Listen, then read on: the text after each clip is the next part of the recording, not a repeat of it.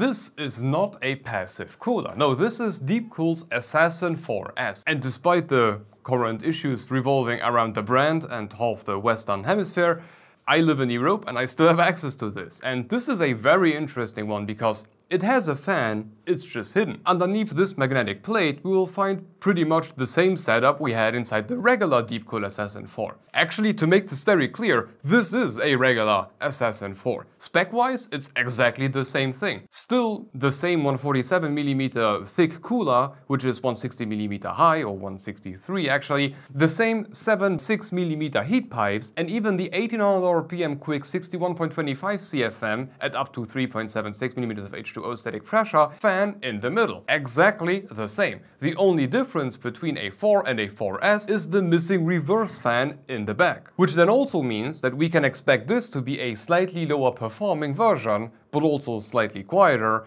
of the original 4. But before we find that out, let's cover the rest of the basics. The Assassin 4S comes inside a similar yet smaller package as the original one, containing the mounting hardware for all nowadays relevant sockets, some thermal paste, and a Allen wrench with a Phillips tip. And on that note, I just want to give one very negative point which I encountered, the thermal paste was open, for at least my cooler. No clue if that is a widespread issue, but you don't want your thermal paste to be exposed to air for a longer period. That thing will dry out. That's really, really bad. Anyway, to get the cooler going on Intel, we need to position the Intel backplate behind the motherboard using the Intel spacers, then followed by the Intel retention bracket with the CPU arrow pointing towards the chip, magic, and then make everything stay in place using the thumb screws. Over on AMD, we need to remove the pre-installed retention brackets, replace them with the AMD spacers, followed by the retention brackets, again CPU arrow pointing towards your room heater, and end things with the thumb screws. From there, pop off the magnetic top cap, pull on the two levers to pull the fan out, install the cooler on top, and put everything back inside. Now, in theory, you can install the cooler in both orientations, and because you can also turn the fan around, you can basically do whatever the heck you want. But the actual orientation would be with these squares here towards the RAM, which would also give you the 100% RAM compatibility because there is nothing touching the RAM sticks. And that paired with a somewhat moderate 163, 164 millimeter height to finish off the cooler. In the bottom, we got a pretty big 39.5 by 46 millimeter nickel plated base, and in the top, we got the small and glowing Deepcool logo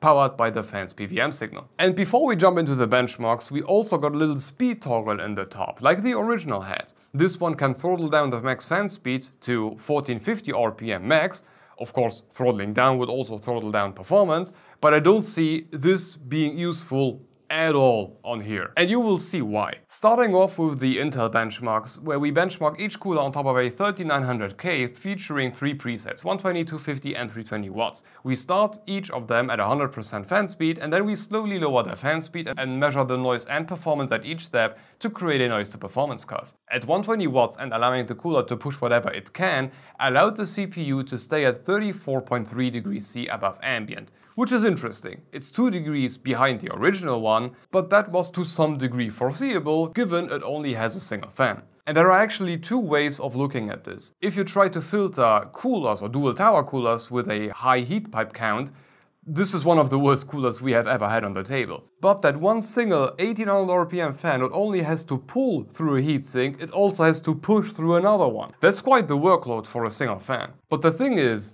noise. Given it's not a fantastic like temperature result, but at its max, it's not loud anyway, between 39 and 40 dB max. That's not a lot to begin with. And from there going down, it almost aligns with the AK620, after which it then drops down quite a lot, but never to the point of something other comparable like the Dark Rock 4.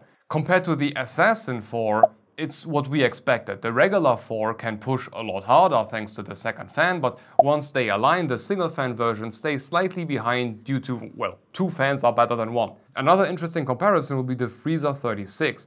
This might be a, single tower, yet dual fan cooler, sure, but size-wise, it's not that far off. And this one also doesn't prevent you from buying fancy FPS enhancing RGB RAM. There at the top end, the Assassin 4S is a bit louder, but at 90% fan speed they align pretty perfectly, after which we get back to that drop. Coming to 250 watts on Intel, here the Assassin 4S managed to keep the chip at 69.3 degrees C above ambient, now almost 5 degrees behind the original. and showcasing that yes, you have one fan, but like maybe two heatsinks are a bit much for one fan. And the corresponding noise to performance graph shows that we really reached the limits of this cooler. From start to finish, it now loses against everything and it never quite reaches noise floor before hitting thermal throttle. But hey, there is a brief moment at which it outperforms the Freezer 36, which kinda makes sense. If all the fans aren't doing anything anymore, it's normal that the one with more heatsink wins. But as far as Intel goes, it's pretty clear that this is not a high performance cooler. Sure, it got two heatsinks and seven heat pipes, but only a single fan. And our benchmark showed that its biggest strength lies within lower heat loads, 120 watts, so everything below a 14700K or gaming only.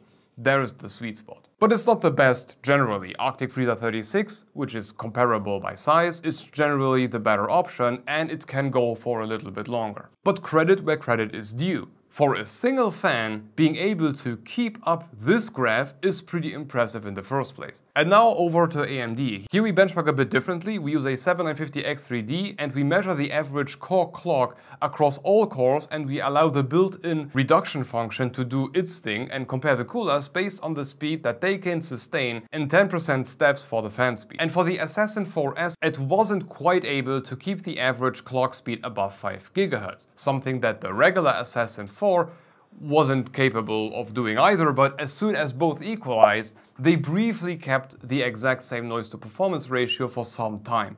But after a while, the ratio of the 4S dropped significantly down to like below Dark Rock Elite level, which by the way is also interesting because towards the higher end, the 4S outperforms it. Just to, to give you an idea how bad the Dark Rock 5 series, essentially also the Elite, is on AMD. Also interesting here is the, the AK620, which sucked on AMD's 3D chip in comparison to both the 3S and regular 4. Interesting. For both AMD and Intel, this is not a ultra high performance cooler. This isn't built uh, for production level workloads and this shouldn't be paired with an i9, Ryzen 9 don't, don't do that. Once you go lower, let's say 14600K or lower tier Ryzen, sure, this becomes very interesting. At least on Intel, we saw that the Assassin 4S delivers quite the result for just a single fan cooler. But the biggest benefit of this thing is just the noise. It is just not loud to begin with.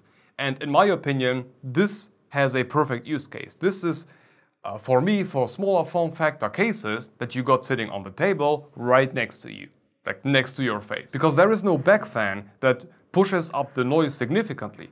And the only fan that is there is sandwiched in between two heat sinks, which kinda act like a buffer in this case. So you got a somewhat silent result, and I believe this is especially important for like desk setups where the back fan is somewhat close to you. And if you pair that with let's say good airflow only fans, slow spinning silent wings, for example, Noctua's S series, and you pair that with the, the intake and exhaust fans of the case, you got a very silent result. But let's talk about the one thing I do not understand about this approach. The price is off. 85 euros right now and here. That's just way too much. Given what an Arctic Freezer 36 costs, this is way too much. But it gets even dumber, because a regular Assassin 4 costs 79 bucks. Someone explain this to me. The dual fan, let's say power version, costs less than the smaller spec one. How is that possible? And what exactly prevents anybody from buying an Assassin 4, except for this of course, but the Nero, from buying an Assassin 4, screwing off the back fan, repurpose it as a paperweight, and enjoy the exact same cooler? It is the same cooler, for 5 bucks less with an additional fan. No, so far, if that price doesn't drop significantly, and I mean like below 50 bucks, I don't see why this should be worth it. And yeah, sure, the white version costs 79, which again doesn't make any sense at all, and it now costs as much as the big one, which uh, it's just confusing. If the cooler drops below 50, sure, good approach, really quiet at max and good option for gaming or lower tier CPUs, as long as you stay like let's say below 200 watts, it's going to be cool and quiet. But until the price drops, wait or get something else. But okay, this should be everything on the Assassin 4S and at this point a huge thank you to Deepcool for sending it over. Oh, on a side note, we have a Discord server, so if you wanna join, the link is down below. And we got channel membership, so if you are planning to sell your soul for an RG poop emoji, that's one way to go. But if not, I'm also releasing the content to all members two or three weeks in advance. Except for the NDA stuff, because you know I, I don't want to get sued. Additionally, you can rest assured that the income will not only keep the channel afloat, but will also serve to pay some data analysis guy to figure this one out for me. It's just weird. Anyway, thank you for watching and if you want to continue, have a look at our video where we compared a mini PC to a similarly priced pre-built. It didn't go as planned. Hope to see you in the next one. Bye bye.